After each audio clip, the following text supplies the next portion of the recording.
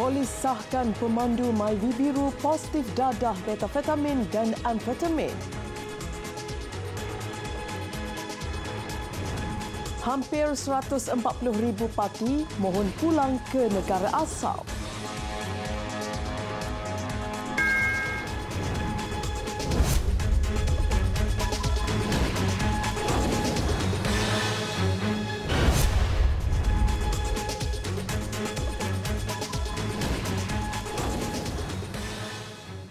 Assalamualaikum dan salam sejahtera. Saya Zaira Sri Zakaria. Pemandu kereta Pro 2 MyV Biru yang melanggar beberapa kenderaan di Jalan Pudu Ibu Negara semalam disahkan positif dadah.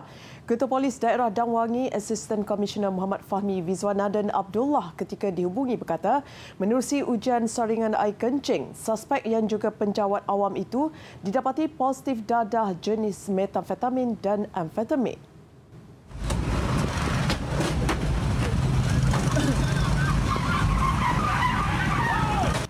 Semalam tular di media sosial satu video berdurasi satu minit yang menunjukkan sebuah kereta Pro 2 Myvi berwarna biru dikejar penunggang motosikal ketika dipercayai cuba melarikan diri selepas melanggar beberapa kenderaan. Menurut keterangan saksi perakam video, suspek turut menolak keluar seorang lelaki orang kurang upaya OKU dari keretanya melalui pintu depan kiri. Bagaimanapun, suspek kemudiannya ditahan orang awam di Jalan Brunei Utara kira-kira jam 5.20 petang. Anggota kereta peronda yang tiba di lokasi membawa suspek ke IPD Dangwangi untuk tindakan lanjut. Polis turut mengesahkan lelaki OKU berkenaan disambun namun belum membuat sebarang laporan polis. Hampir 140,000 pendatang asing tanpa izin parti memohon untuk pulang ke negara asal menjelang tamatnya program Back for Good B4G pada 31 Disember ini. Ketua Pengarah Imigresen Datuk Khairul Zaimi Daud berkata permohonan dibuat sejak 1 Ogos hingga Khamis lalu dan jumlah itu menunjukkan peningkatan hampir dua kali ganda kerana rata-rata menunggu di saat akhir untuk menyertai program itu. Datuk Khairul menegaskan tempoh pelaksanaan program B4G itu tidak akan dilanjutkan dan operasi penahanan secara besar-besaran akan diadakan selepas tamat tempoh itu. Uh, jabatan jangkakan jumlah ini semakin hari akan semakin bertambah ya, sehinggalah ke penghujung bulan ini. Dan uh, tidak dapat dielakkan ya, mereka datang dengan uh, kumpulan yang begitu ramai sekali ya dan uh, immigration sebenarnya telah pun uh, melanjutkan waktu perkhidmatan kami ya, untuk back for good ini sehingga pukul 10 malam. Dan pejabat juga dibuka ya, di uh, seluruh Malaysia pada hari Sabtu dan Ahad. Mengikut statistik daripada 138,901 parti berdaftar dengan program B4G, warga Indonesia merekodkan jumlah tertinggi dengan sejumlah 53,328 orang. Ia diikuti dengan Bangladesh 38,734, India 22,964, Myanmar 6,923 orang dan selebihnya dari negara lain seperti Pakistan dan Nepal. Program B4G dilaksanakan bagi memberi peluang kepada warga asing yang telah melakukan kesalahan di bawah Akta Imigresen 1959 untuk pulang ke negara asal secara sukarela.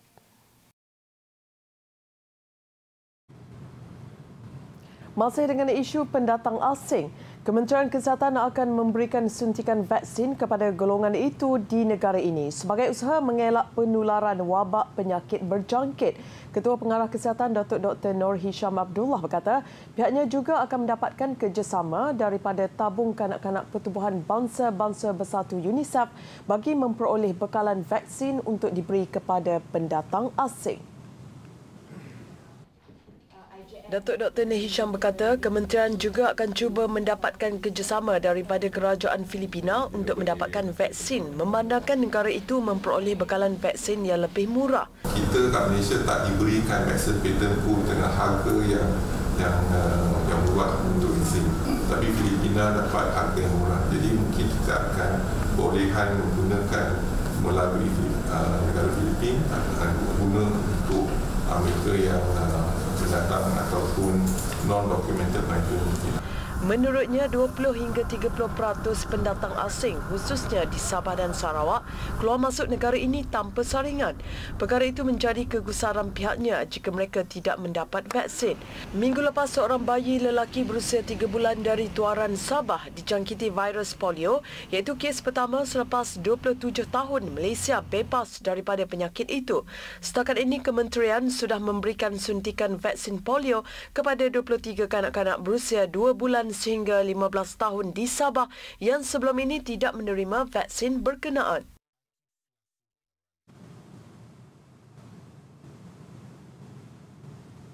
Tindakan penguatkuasaan terhadap penggunaan kerusi keselamatan kanak-kanak bagi kereta persendirian akan dibuat selepas tempoh enam bulan pelaksanaannya. Menteri Pengangkutan Anthony Locke berkata tempoh tindakan itu berdasarkan kepada tempoh peraturan itu yang berkuat kuasa 1 Januari tahun hadapan. Enam bulan pertama ini kita akan fokus kepada pendidikan. Okay. Tidak ada tindakan akan dikeluarkan dari segi saman. Tetapi selepas enam bulan itu sudah perlu tentunya kalau sesiapa yang tidak masih mengikut undang-undang perlu ada tindakan. Kalau tak ada tindakan, you make a mockery of the law. Katanya tindakan penguatkuasaan itu bagi mendidik masyarakat supaya menitik berat soal keselamatan kanak-kanak. Pihaknya juga dari semasa ke semasa akan melihat bagaimana untuk mengurangkan kos kerusi keselamatan kanak-kanak. Usaha termasuk kerjasama dengan syarikat korporat dan NGO bagi membantu keluarga yang kurang berkemampuan.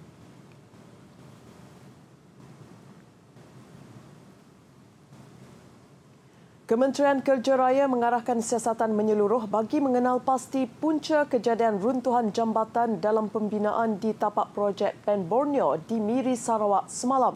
Kerja-kerja di tapak pembinaan itu juga diarah dihentikan serta-merta bagi memastikan keselamatan pekerja dan orang ramai. Menteri Kerja Raya Baru Bian berkata, siasatan dilakukan bagi memastikan kejadian sama tidak berulang. Pihaknya juga tidak teragak-agak untuk menamatkan kontraktor terlibat jika hasil siasatan mendapati terdapat unsur kecuaian atau salah laku keselamatan. Katanya tindakan itu sebagai amaran kepada pihak kontraktor dalam semua pakej pembinaan PEN Borneo agar tidak mengabaikan aspek keselamatan. Dalam insiden jam 2.40 petang semalam, dua pekerja cedera dan kini menerima rawatan di Hospital Miri.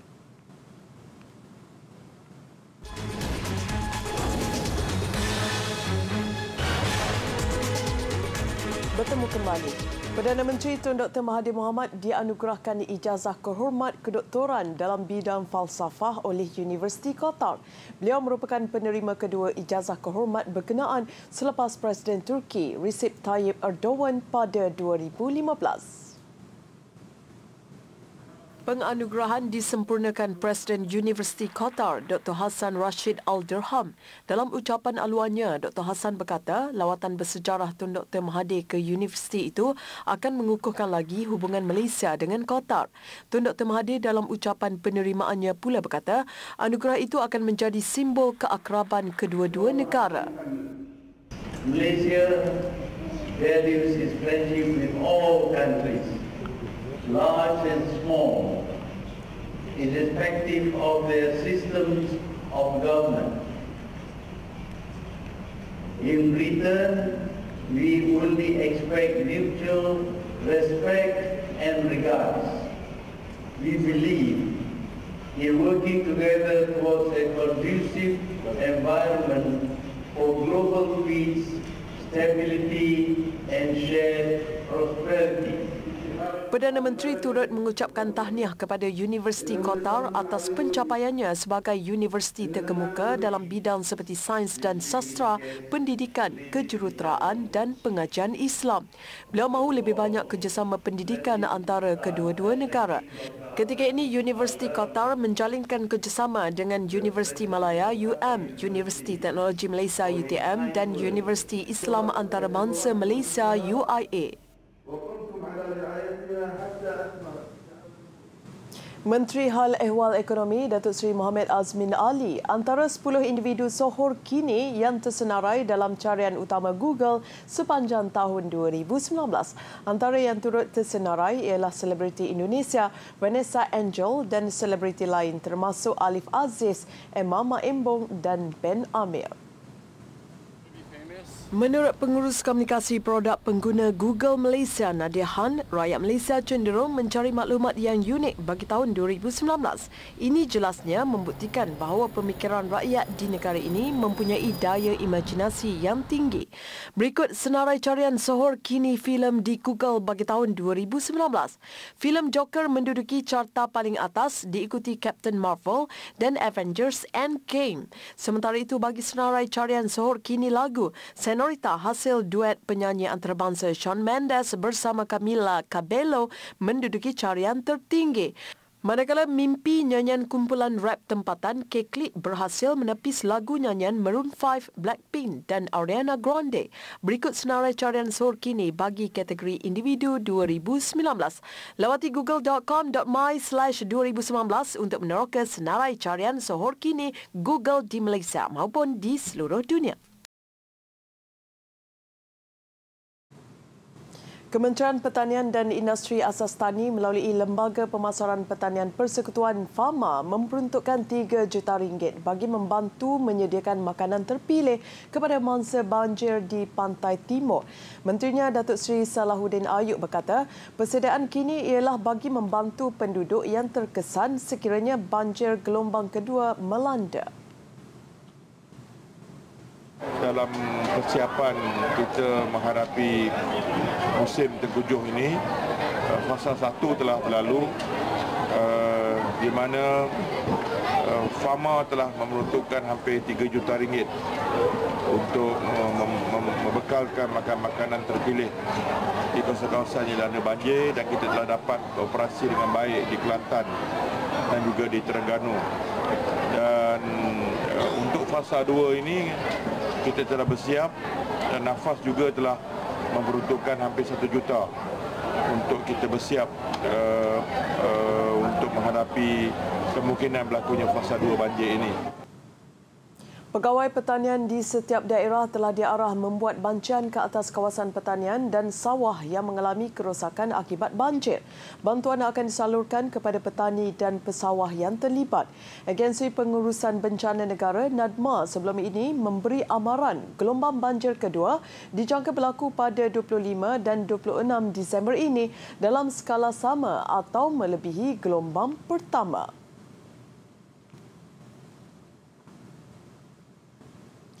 Sejumlah 3.2 juta ringgit diperuntukkan Yayasan Pelajaran Mara untuk program Kembali ke Sekolah 2020 di bawah Kementerian Pembangunan Luar Bandar untuk sesi persekolahan tahun depan. Menurut menterinya, Datuk Seri Rina Harun, program itu bakal memanfaatkan lebih 43,000 pelajar di seluruh negara sekaligus mengurangkan beban perbelanjaan ibu bapa. Program terbabit mensasarkan pelajar dari golongan berpendapatan rendah yang tinggal di luar bandar.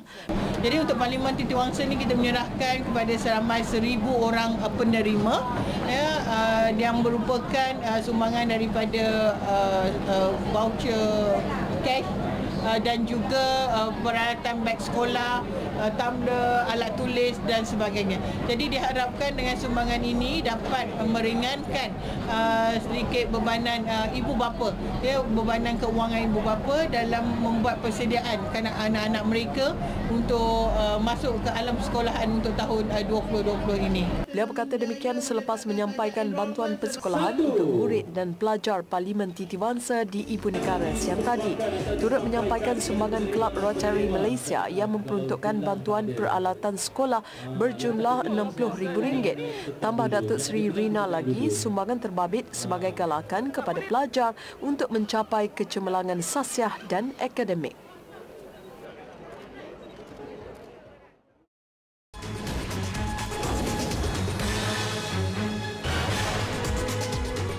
Keberkesanan program pembangunan usahawan yang dilaksanakan Badan Bukan Kerajaan Women of Will WOW dalam meningkatkan sosioekonomi golongan memerlukan telah melayakkan NGO itu disenaraikan sebagai sebuah organisasi cemerlang di platform Social Impact Exchange atau SIX oleh Agensi Inovasi Malaysia.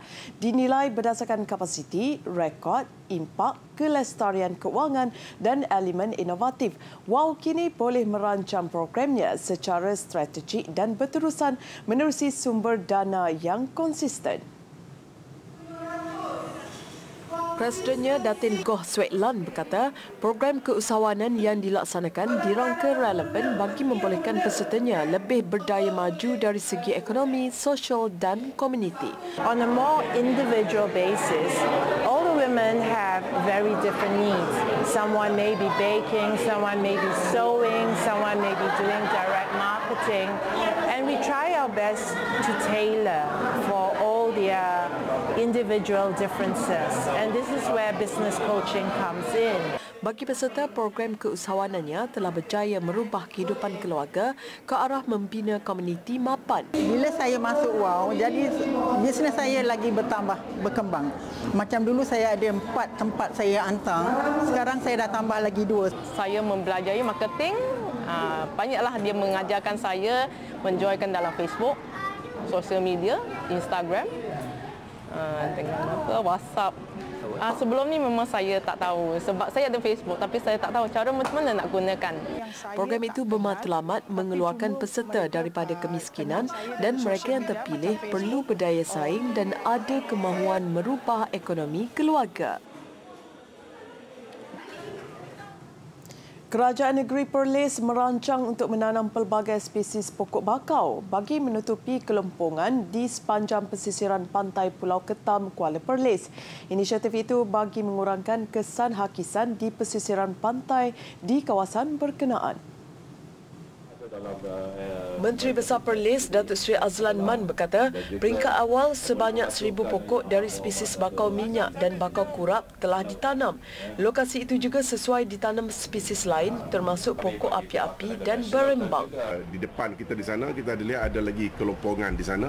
Itu pun dalam program yang akan datang kita akan penuhkan uh, semua ni. Beliau ditemui selepas merasmikan program 3 for 3 di hutan simpan Pulau Ketam Kuala Perlis siang tadi. Program Anjuran Tenaga Nasional Berhad TMB itu disertai 300 sukarelawan dan penduduk setempat. Ada kesan.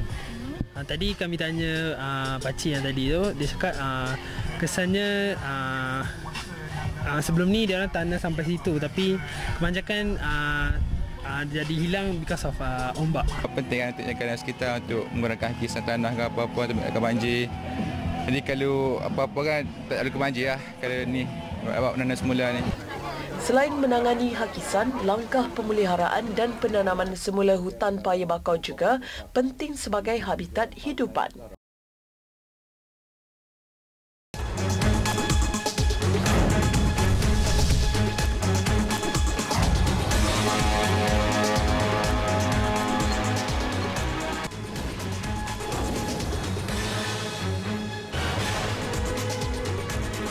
Kembali bersua dalam segmen sukan.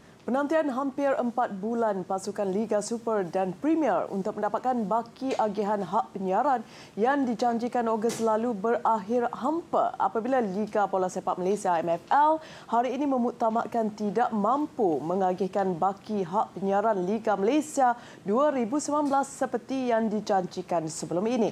Presiden MFL Datuk Hamidin Muhammad Amin berkata, badan pengajuh itu tidak dapat membayar agihan kedua sebanyak 1.5 juta dan RM500,000 kerana tidak meraih pendapatan hak penyiaran seperti dirancang. Jelas Datuk Hamidin, perkembangan terbabit sudah pun dijelaskan secara terperinci kepada semua rakan kongsi pada mesyuarat agung luar biasa EJM hari ini. Berdasarkan perlembagaan MFL jadual 7 dan 7A, jumlah agihan kepada pasukan akan ditentukan ahli lembaga pengarah MFL jika pendapatan hak penyiaran dan komersial adalah kurang daripada 18 juta ringgit. Bagaimanapun biarpun berdepan kekangan ketiadaan penaja utama MFL tetap menunaikan tanggungjawab dengan mengagihkan separuh daripada jumlah hak penyiaran dan komersial seperti dijanjikan pada 15 Julai lepas. Pasukan Liga Super menerima 1.5 juta ringgit sementara RM500,000 disalurkan kepada pasukan Liga Premier. Pada masa sama, MFL akan membuat bayaran pendapatan untuk musim 2020 berdasarkan pendapatan penajaan diraih dan pengagihan itu bakal dilaksanakan mengikut perlembagaan MFL. Mendaki ketinggian 1,100 meter dari aras laut bukan mudah terutamanya jika berkayuh basikal dan dalam perlumbaan. Namun bagi 1,400 peserta King of Mountain Cameron Highlands 2019, perlumbaan ini antara kejohanan terbaik membuktikan keupayaan diri. Perlombaan dianjurkan Kelab Berbasikal Darul Rizwan DRCC. Bagi memburu gelaran Raja Bukit Cameron Highlands, peserta perlu berkayuh sejauh 59 km. Kayuhan merangkumi laluan mendaki ke puncak bukit serta menempuh beberapa selekoh tajam yang pastinya menguji ketahanan fizikal dan mental peserta. Uh, Alhamdulillah tahun ini sambutan semakin menggalakkan di mana kita uh, lebih ramai lagi rider-riders Malaysia dan apa yang akan kita buat penambahbaikan di mana tahun depan kita akan buka satu kategori khas untuk uh, pelumba-pelumba basikal elit. Lokasi pelancongan yang terkenal dengan suhu sejuk dan bertekanan tinggi itu juga medan bagi menguji kawalan pernafasan dan penguasaan stamina pelumba. Kita rasa program ini sangat efektif kepada Cameron Island memberi peluang kepada semua orang untuk kenal Cameron Island lebih dekat.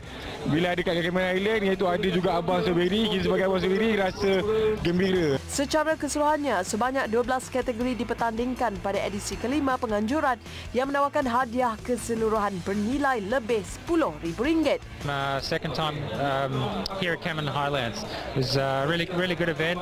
Um, yeah, the Sapporo riders were too fast, the top two, but uh, we had a really good group um, who raced together for the final uh, 15k. Perlumbaan turut bertujuan mempromosi pelancongan negara memandangkan ramai peserta dari luar mengambil bahagian termasuk Singapura, Taiwan, Amerika Syarikat dan New Zealand.